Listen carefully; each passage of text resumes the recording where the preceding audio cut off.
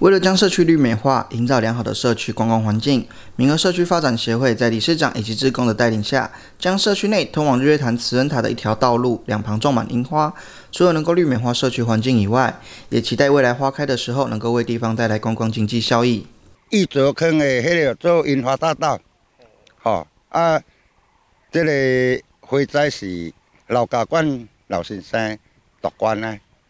啊，我嘛真感谢伊。啊，现场来参与的，则拢是职工，因为这个社区的绿美化的工程，所以讲，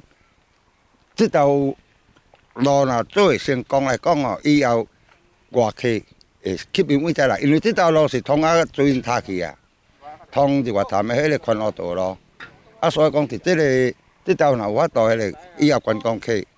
就会位再来。全体乡民代表汤美兰也表示，这条路目前可以通往日月潭的慈恩塔。但绿美化的工作正在进行，相信两三年后景色会相当不同，也期待后续的维护工作能够有更多单位来协助。我们这一条路是通往我们日月潭的慈恩塔哈，啊，已经路也也可以通了啦。可是美化绿化的工作，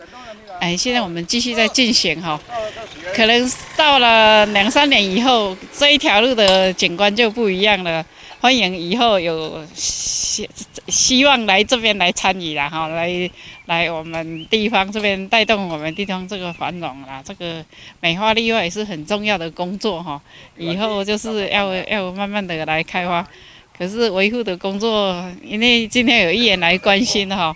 希望说以后我们跟议员还好好的来哈做这个维护的工作最好。乡议员陈水肯定社区发展协会的用心，尤其这条道路两旁目前种满樱花，未来若花开的时候，也相当具有观光经济发展的实力。也希望观光处能够多加重视地方观光发展。咱一直去这大水场嘛，去引足者游客吼来遮生水啊，来遮烤肉。如果讲会当够搭配着咱樱花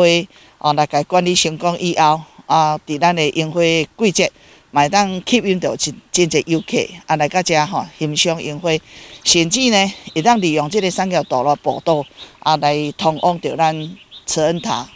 哦，即个日月潭的观光景点。所以呢，这会使讲是一个观光景点的连接。那么希望讲伫未来，咱南投县政府观光处会当来注重着咱民乐川观光的发展。民和村一泽坑樱花大道，在理事长陈议员以及志工用心下，不但将树旁种满樱花，以及在未来花开之时，能够为地方带来庞大的观光经济效益。记者邱平义水里采访报道。